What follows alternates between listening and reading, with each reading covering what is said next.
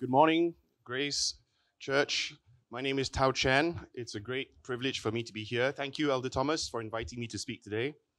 Today, I will be addressing the topic of how to make the church a safer place for those who experience same sex attraction. This is increasingly the trending topic of the day, especially for our youth and young adults, but also for our church and for our nation.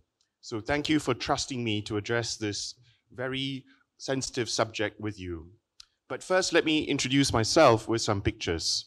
I am, a, an, I am an assistant pastor at 316 Church in Singapore, serving in the young adults ministry. I'm also a Bible school instructor. I also serve in several ministries, including True Love Is under 316 Church, which raises awareness in the LGBT space. And I also serve at Choices under Church of Our Savior, which ministers to those who experience same sex attraction. Prior to serving in bank, uh, prior to serving in ministry, I worked in the marketplace for 25 years, mostly as a banker. I serve in ministry now, but only seven years ago, I was still addicted to gay sex and gay porn. You see, from as early as when I was seven years old, I knew that I was attracted to the same sex. I was not given a questionnaire at any time to choose whether I wanted to be attracted to the same sex or to the opposite sex. I just knew that I was attracted to the same sex.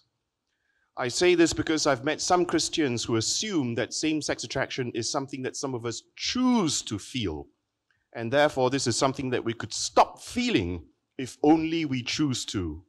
This is not true. In fact, extensive research in the past informs us that most people experience little or no sense of choice about their sexual orientation. The answer is therefore not just to turn straight by dating girls, by getting married, by having kids, and so on, as if this is a light switch that we could choose, choose to turn on or off. So please do not be mistaken on this. Personally, I had a wonderful childhood. I was not a victim of negligent parenting. I was not a victim of childhood trauma or of inappropriate childhood sexual advances.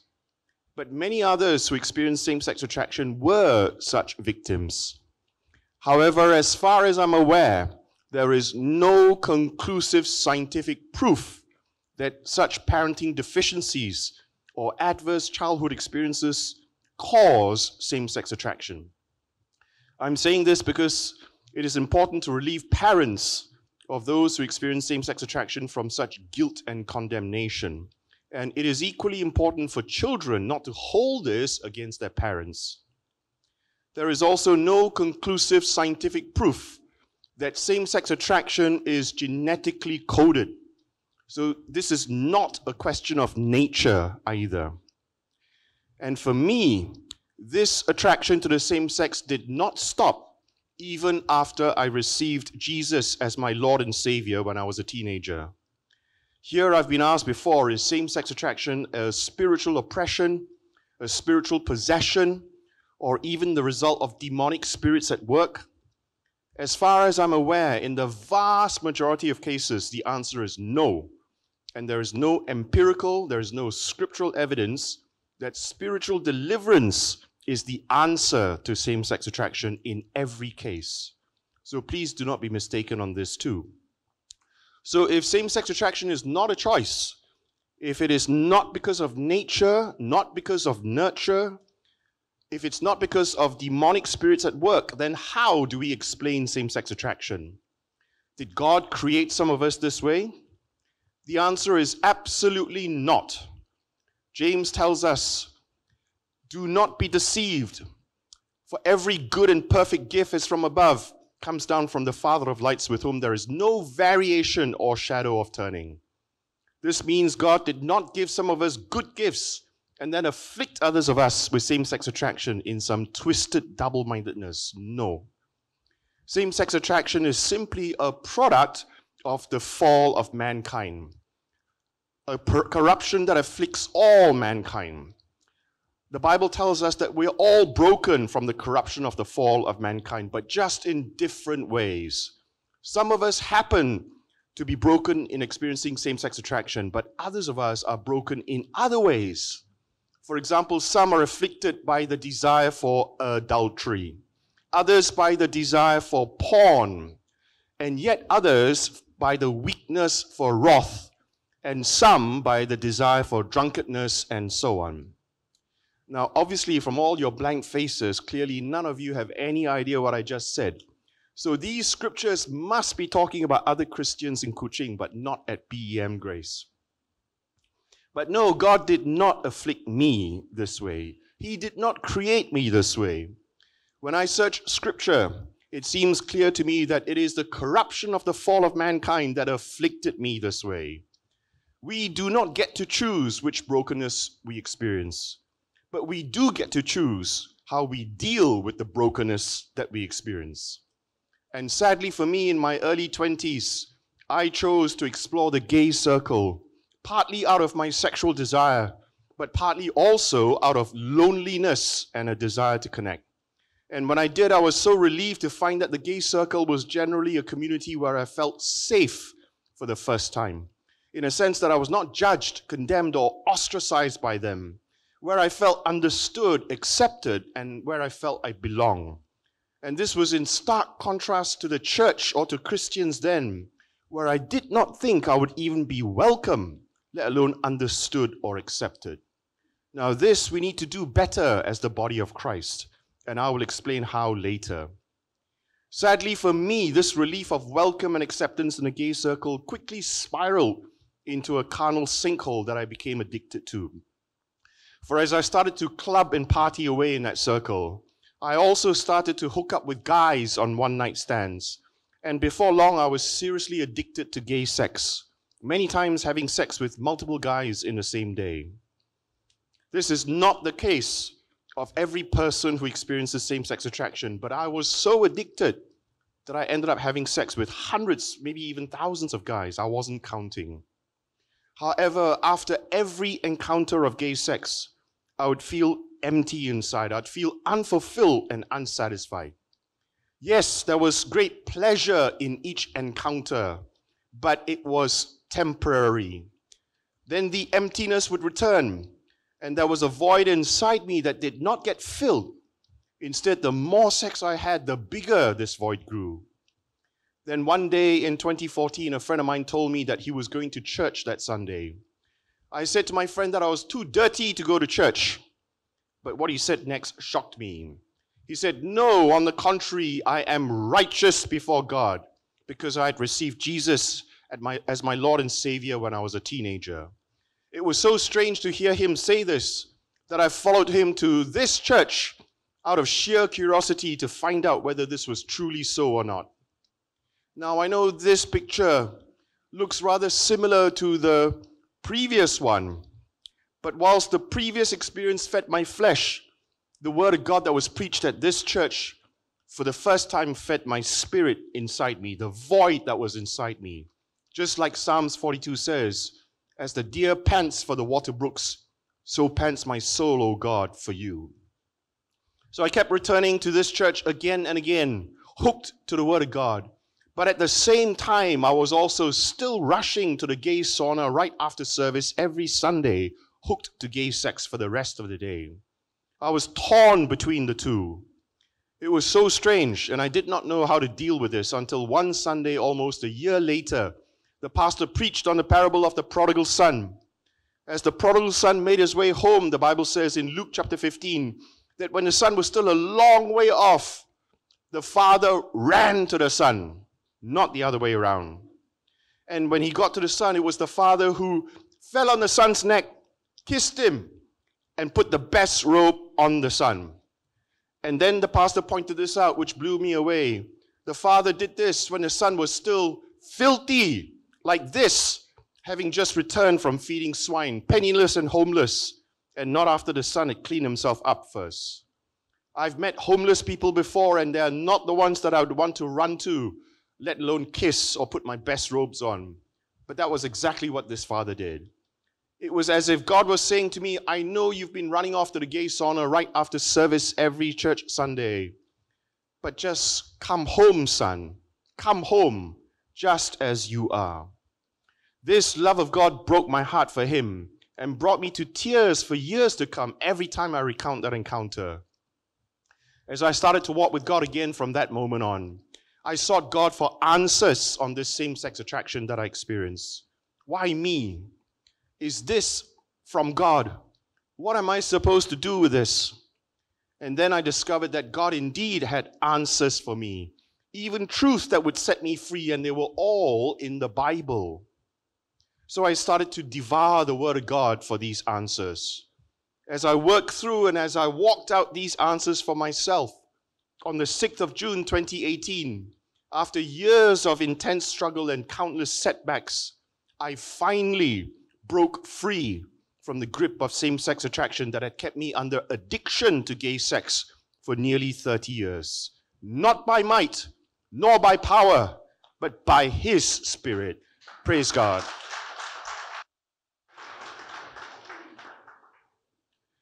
And the good news is this the same freedom of God is available to everyone and anyone else who desires it and who seeks Him in faith and with patience, because there's no partiality with God. Now, just to be clear, this does not mean that I no longer experience attraction to the same sex. I still experience attraction to the same sex now. But overcoming is not the suppression of the desire it is not necessarily even the absence of the desire, but it is the victory, the ability, and the strength to overcome the desire. So now, whilst I still experience attraction to the same sex, the difference is that I'm now no longer unable to overcome such desires and temptations, unlike before. This is the same type of victory that even Jesus himself experienced when he was here on earth. Because the Bible says that he too was tempted in every way as we are, but yet without sin. So just as Jesus was not immune from temptations, but was victorious over them, so too is the victory that must experience, even though we may still continue to experience the attraction to the same sex. Now, when I speak about the churches, a common question that is often asked is this How can we, Christians, understand and relate better to those who experience same sex attraction? Well, we should first be aware that the LGBT community is not one ubiquitous community. There are four very different constituents to the community. Firstly, there are the overcomers on the top right hand quadrant of this chart. These are, for example, Christians who want to and who have experienced the power of God to overcome their LGBT desires. Then there are the strugglers, the bottom right hand quadrant of this chart, who are, for example, Christians who are still working and walking out the answers to their struggle. Both of these quadrants on the right here are minorities. By far, the vast majority of the LGBT community are the moderates, the bottom left hand quadrant of this chart. They are those who are in the lifestyle and who want to stay in the lifestyle by choice. Some are Christians, some may even be in church, but they also want to stay in the lifestyle. And then there are the activists, the top left hand quadrant of this chart. They are also a minority, but they dominate the public square with their loudness and their fierceness to such an extent that they are discipling the world and even parts of the church today with their ideology especially in the absence of the voice of the rest of the church. So, four very distinct quadrants in the LGBT community. It is a mistake, therefore, to assume that the LGBT community is all the same and that we should relate to them in exactly the same way. For example, it is a grave mistake to address the entire LGBT community as if they are all activists with an agenda because the vast majority of the community are clearly not activists. It is equally grave a mistake to assume that the entire LGBT community struggles with same sex attraction and that they want our help on this. This is a mistake because this is highly offensive to the moderates who comprise the vast majority of the LGBT community and to the activists because they think we need help, not them.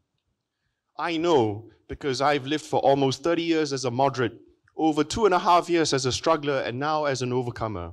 So I speak from lived personal experience on this. So, how then should we relate to the LGBT community? Well, we need to match our response to the constituent that we are addressing. For example, with the overcomers, we should celebrate their testimony and exhort them to serve. With strugglers, we should welcome them and journey with them. With moderates, especially those who are in church and who want to stay in church, we should accept them into our community and take time to understand them. And with activists, we should learn to understand their points, but to stand with God on points of difference. But how do we welcome, accept, and understand overcomers, strugglers, and even moderates who want to seek God in our midst? Well, one answer is cats. Cats. Kuching, where we are right now. Cats, which stands for companionship, answers, testimony, and supplication. So, firstly, companionship. This means being a trusted friend who accepts those who want to walk with God in the space of same sex attraction as they are, instead of rejecting them until they've cleaned up their lives first. But what does this acceptance and companionship look like in practice? Perhaps these three handles will help.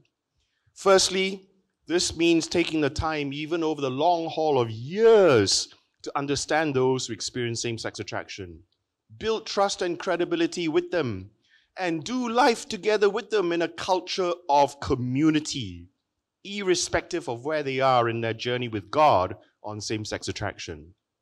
Now, let me clarify up front acceptance does not mean agreeing with, affirming, or celebrating a choice of lifestyle that is contrary to God's design. No. But it does mean not rejecting from our community even those who are still torn to the gay lifestyle, but who also want to figure out with God how to deal with their gay lifestyle.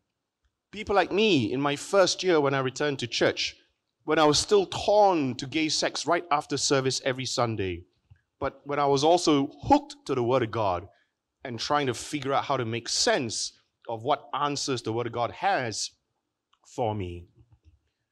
This is a picture of one of our services at my church, 316 in Singapore. And here, our young adult leaders were playing board games together on a Saturday night at one of our homes. And here, one of our home churches was having a picnic together in public.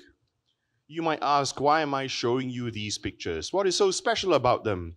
You do the same in your own church.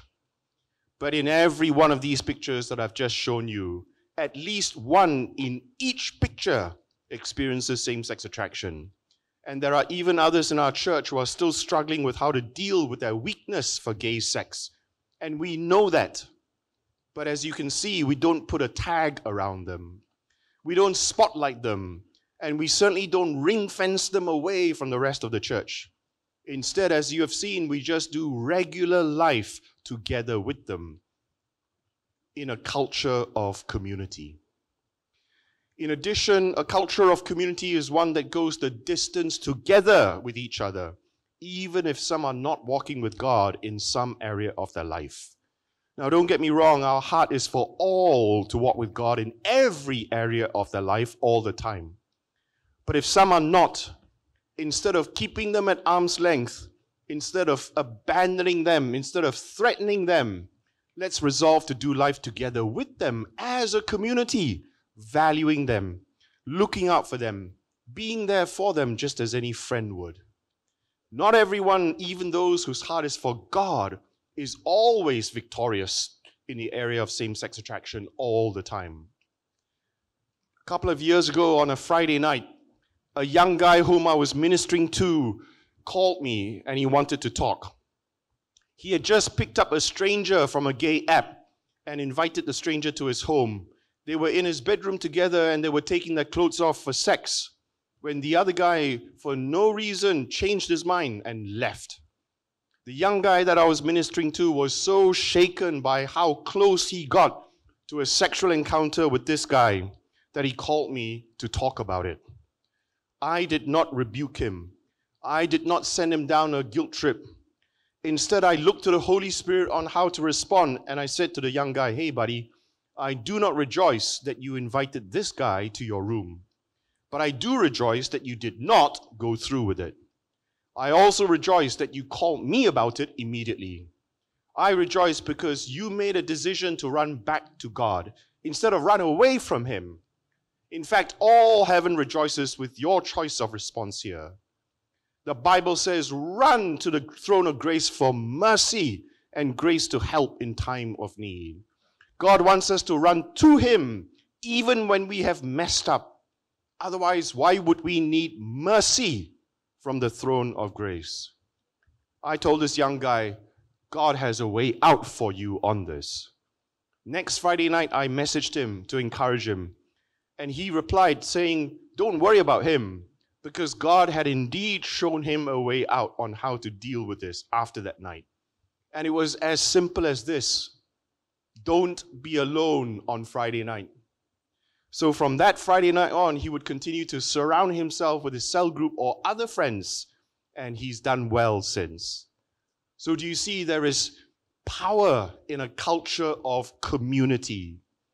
The Bible says in Leviticus chapter 26 Five of you chase a hundred, but a hundred of you shall put even 10,000 to flight. There is great power in a culture of community. Secondly, this acceptance in companionship is also about walking the talk, that it is safe to come out and come home to God in the body of Christ. One way to do this is to elevate those who experience same sex attraction but who want to walk with God on this, to serve and even to lead in our midst. I was so inspired when my senior pastor asked me to serve as an assistant pastor in my church, despite my background. And I'm not alone in my church. Joseph, another overcomer who experiences same sex attraction, also serves as worship leader and as youth leader in our church. And there are others beyond him in our church. This is a powerful way to demonstrate acceptance in companionship in the body of Christ. Another way to walk the talk that it is safe to come out and come home to God in the body of Christ is to celebrate in our own ministry or in our own church the testimonies of those amongst us who are overcomers or even strugglers who are still on their journey, if they are willing to testify. Sadly, after my breakthrough in 2018, I have encountered Christians who were hesitant even to rejoice privately with me over what God had done for me by His grace. I felt so dismissed. I felt so shamed in some parts of the church that I was at at that time. I felt shamed and dismissed for deciding to walk with God in my area of brokenness because some would not even rejoice privately with me over the victory that God had given me. Well, let's not do that. On the contrary, let us celebrate our overcomers. Let us celebrate our strugglers' testimony of walking with God, even on this taboo subject, as a demonstration of acceptance in companionship. Lastly, another way to walk the talk that it is safe to come out and come home to God in the body of Christ is to model vulnerability and authenticity ourselves to those who experience same sex attraction. On modeling vulnerability and authenticity, some Christians have been known to venture as far as admitting to their struggle with chocolates or admitting to their struggle with anger over a driver who cut into their lane on the road that morning. A while ago, I was at a church service overseas, and a pastor there started his sermon by saying this Church, I want to be vulnerable before all of you today.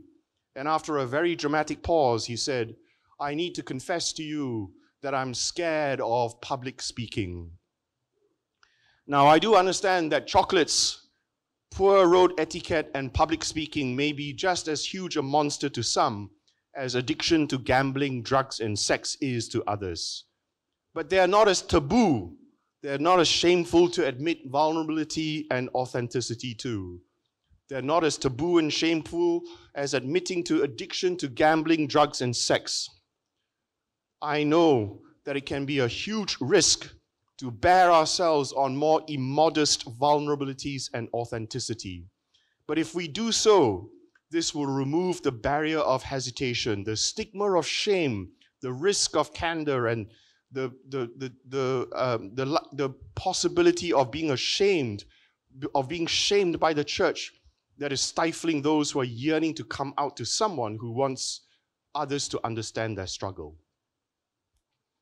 At a Christian youth leader program a couple of years ago, 20, there were 25 youth leaders participating. The 25 youth leaders were asked a question Do you know someone who experiences same sex attraction amongst your family or your friends? 23 out of the 25 youth leaders there put up their hand. But when asked the same question, do you know someone who experiences same sex attraction, but this time in your church? Only two of the 25 youth leaders put up their hand. Now, statistically, this kind of difference is extremely unlikely to be reflective of the actual rate of incidence of same sex attraction in church. It is more likely that we don't know who experiences same sex attraction in church because they won't tell us about it in church. But they were, are very willing to tell others about it out there in the world, on social media, for example. Why? Because they deem society out there to be a safer place to come out to than even church. And this is very sad because the church is supposed to be the home of compassion, supposed to be the ambassador of redemption that even prostitutes and tax collectors were drawn to Jesus. So, one way to address this is to encourage vulnerability and authenticity by our own example so that others know it is safe to come out and come home to God in church. It is safer even than coming out in society. Pastor Ian, the senior founding pastor of the founding senior pastor of my church, and Pastor Joel, our youth pastor of my church, have this these video testimonies on YouTube, which are still there today. And these testimonies are of how they used to struggle with porn addiction even in their early years of serving in ministry. When I first saw these vulnerable testimonies, I did not look down at Pastor Ian or Pastor Joel. Instead, I looked up to them as someone who could really understand me because they were so authentic and vulnerable.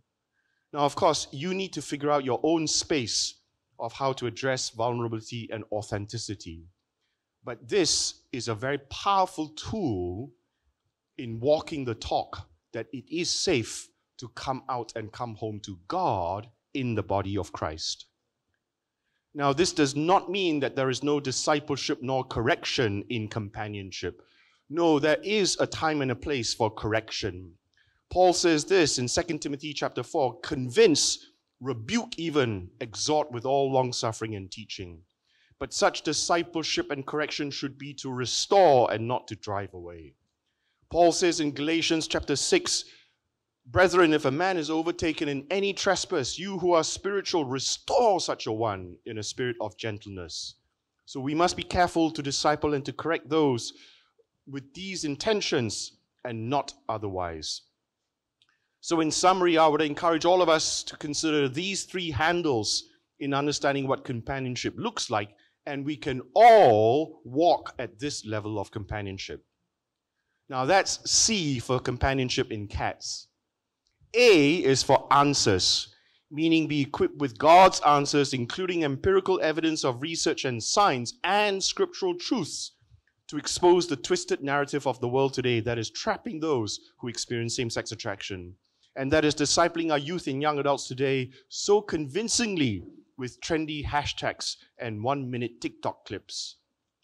And on answers, we should start by being clear that the attraction in same sex attraction is not sin, even though the action in same sex attraction is sin. Le- Leviticus chapter 18 does not say, You shall not feel attraction to the same sex, for it is an abomination before God. No, it says, You shall not act on the attraction by lying male with a male as with a woman, because that is an abomination before God. The two are not the same. Experiencing the desire or the temptation that is not of God is not the same as falling for the desire or temptation that is not of God. And we should not lump the two together. For those of us who experience same sex attraction, as I explained earlier, this attraction is simply a product of the corruption of the fall of mankind. This corruption afflicts all mankind, but just in different ways. But this corruption or this brokenness in itself is not our sin. It is the result of sin, Adam and Eve's sin, but it is not our sin. But how we choose to deal with the corruption or brokenness that we experience can be sin. And on this, many of us who experience same sex attraction, such as Sean here, such as Philip here, such as Joseph and myself and others, we've all discovered that the answer to fulfillment and wholeness in life is not found in the gay lifestyle, even though we experience the attraction. Even though there is comfort, even though there is considerable pleasure in it, the answer to fulfillment and wholeness in life is not found in the gay lifestyle. The answer is found in walking with God's ways. So, by answers, what I mean is to unpack scriptural truths as practical solutions and as liberating all lives to real life conflicts instead of as a list of do's and don'ts. For example, the world today says, Love is love. If you love me, you must celebrate me. No, the Bible's answer is depends on what we are celebrating. 1 Corinthians chapter 13 that defines agape love tells us that love does not rejoice in iniquity but rejoices in the truth. So no, Bible agape love does not mean that we must celebrate you in all things in order to prove to you that we love you. Not at all. Companionship under CATS does not include celebrating choices that are against the design of God. The Bible shows us what is of God's design that we are to celebrate. But the Bible also shows us what is not of God's design that we are not to celebrate, but that we are to deal with or to address instead. Another example is this the world today says you are what you feel. No, the Bible's answer is this.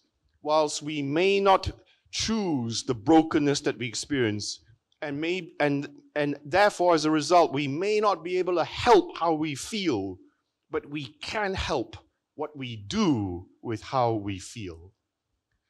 You see despite what we feel we can choose to align ourselves with God's ways for us and experience the fullness of his abundant life as a victor over how we feel instead of aligning ourselves with how we feel and struggle in confusion and victimhood as a result.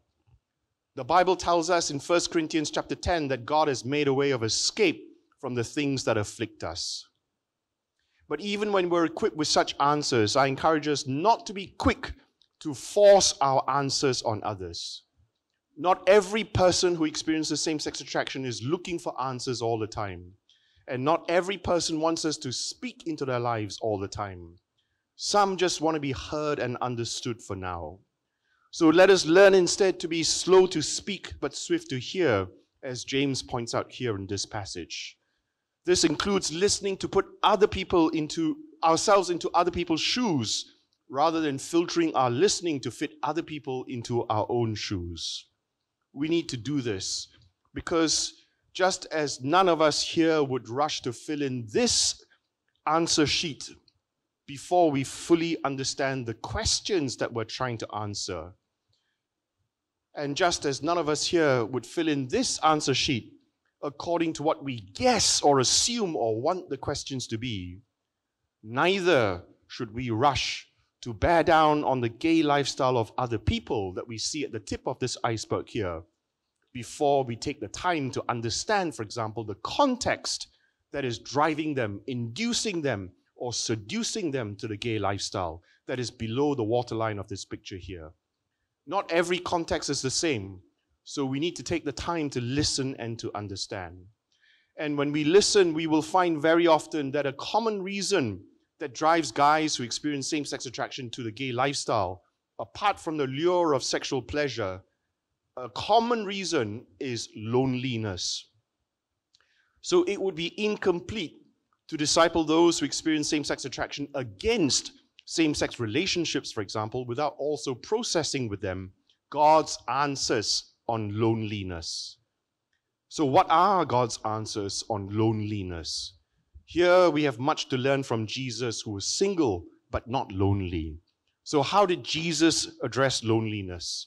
Well, scripture tells us that not only did he model out for us intimacy with our Father, he also had community, best friends, and very likely family with him. On community, Paul says in 1 Corinthians chapter 12 that God has set the members, each one of them, in the body just as he pleased. This means that God designed us for community. Even Jesus had 12 apostles around him and sometimes 70 other disciples or more too. God also designed us for companionship with best friends. The Bible says in Ecclesiastes chapter 4 two are better than one, and a threefold cord is not quickly broken. Even Jesus had three best friends around him. If we're not anchored in community, if we don't have best friends around us, of course we will experience an emptiness. Of course we will feel lonely over this as we miss out on God's design for us. And when I dig deeper with some of those who experience same sex attraction, whom I minister to, who complain of loneliness, it is actually community. It is actually the deep, intimate bond of best friends that they miss very much and that they feel lonely over. The wrong answer to loneliness here is to jump into a same sex relationship because the gap is actually that of community or best friends. So at Choices, where we minister to those who experience same sex attraction, we understand the importance of addressing loneliness. So, in the male support group at Choices, where we work amongst those who experience same sex attraction, we work very much on cultivating deep kingdom friendships. We bond regularly over prayer, we bond over meals, over board games. You gotta follow me over bowling, over rollerblading, over escape room, over virtual reality games, over hanging out, and also going on retreats and ministry trips together. It takes this much intentionality and engagement to minister to loneliness. But the deeper question for all of us here is this Would we personally dare to be such a community? Would we personally dare to be such best friends, even to someone who experiences same sex attraction, as an answer to their loneliness. When I was growing up, one of my best friends then is Dominic. We hung out a lot together during our teens and early 20s. We were in his bedroom a lot playing computer games, and here we were on holiday. Life was less lonely for me then with my best friend Dominic. We were very close, but because I did not want to risk losing him as my best friend, I never told Dominic that I experienced same sex attraction until a couple of years ago.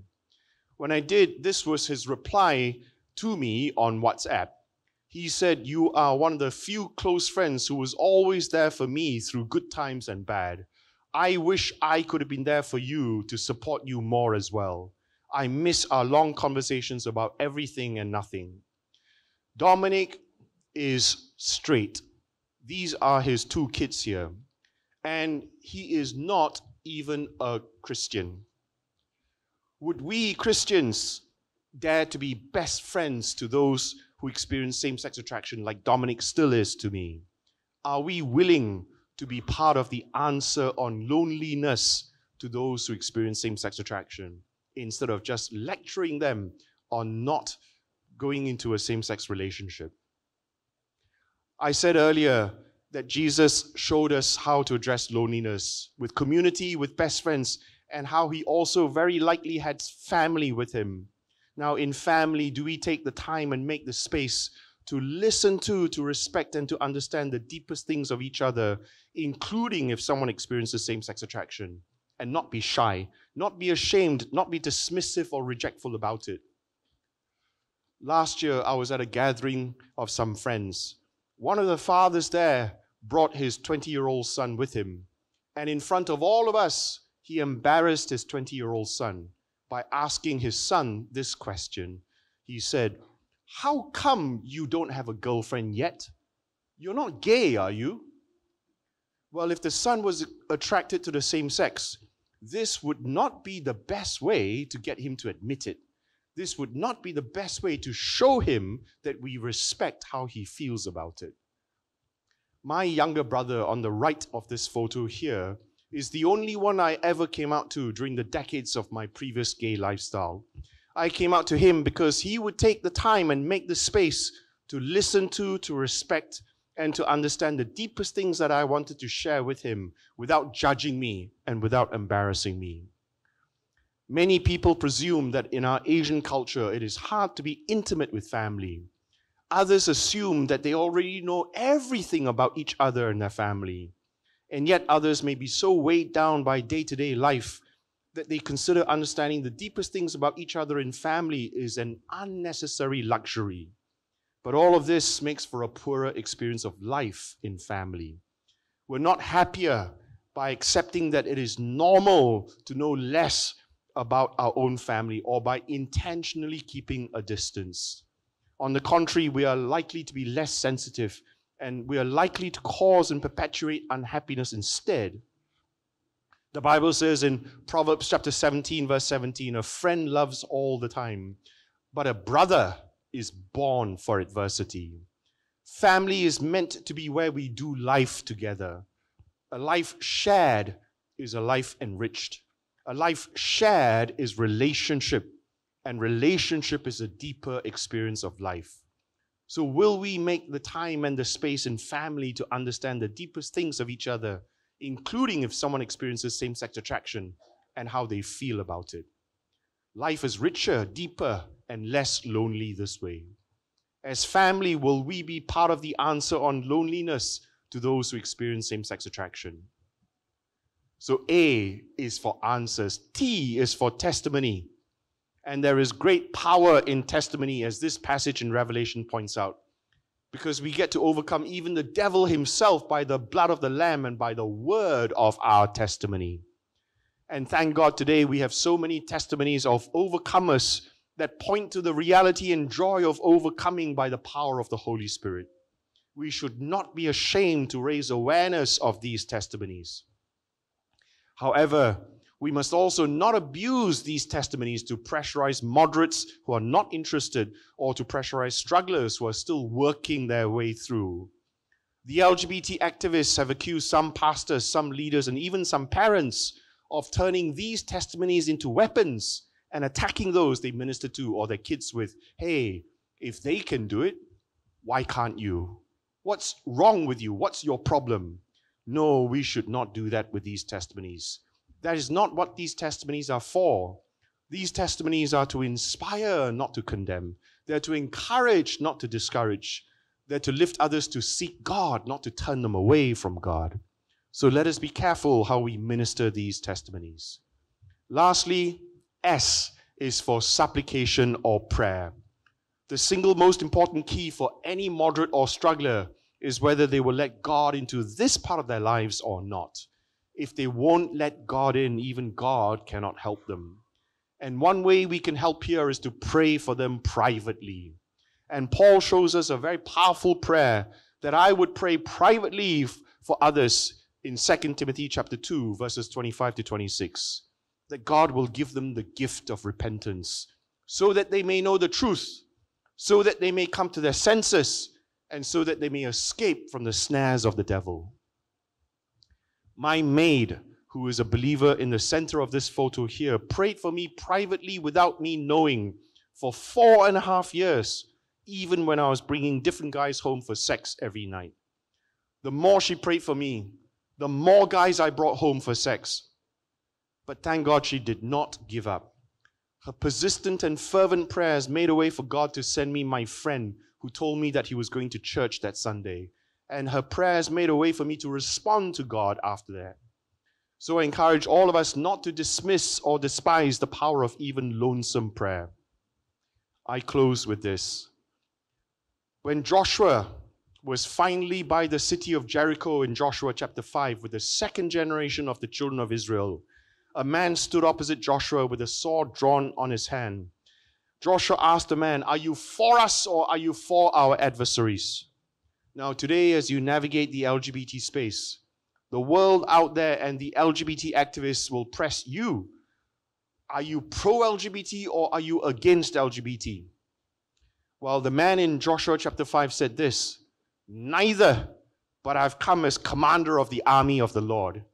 Similarly, I encourage all of you today to declare neither, because we are neither pro LGBT ideology, but then neither are we against LGBT community, but we stand where God stands in this space, where with companionship, answers, testimony, and supplication, we stand for God's alternative answers of truth and grace in this space.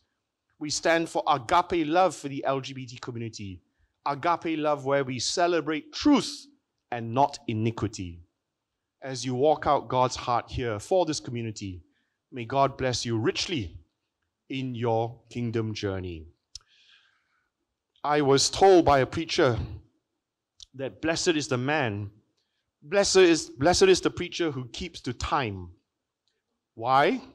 Because he will be invited back to speak again. I was given 45 minutes for this sermon. I've only used 40. So I will be invited back again. Praise God. I, have a question so we can consume the next five minutes. In your sharing, because you're a man and you talk about same-sex attraction, can we say that the same principles applies to women who may also be drawn to same-sex attraction? Thank you, Elder Thomas. It's a good question. I was more specifically preaching on same-sex attraction in relation to guys girls, same sex attraction expresses itself in a different way. With guys, a lot of the time, the tendency is sexual desire, physical sexual desire. And so, for guys who experience same sex attraction, the temptation, the lure, the pull of the flesh is in sexual activity. And that's the case a lot of the times with guys. But with girls, same sex attraction expresses in a different way. For them, same sex attraction tends to express itself in emotional dependency, emotional attachment. So they get obsessed over their partner or someone that they fall in love with, using their own secular language. They get obsessed over them and they can't do life without that other person. So for girls, same sex attraction expresses itself more in that way than physical sexual activity. So, a lot of what I was trying to teach and preach on just now was in relation to guys who are attracted to the physical activity. Um, we do minister to guys and girls separately at choices, for example, because we understand that it is different what they're going through. So, and the, the, the, the way of ministering is also therefore different uh, we take a lot more time to deal with emotional dependency for girls, but we take a lot more time to deal with physical sexual addiction with guys. Elder Thomas.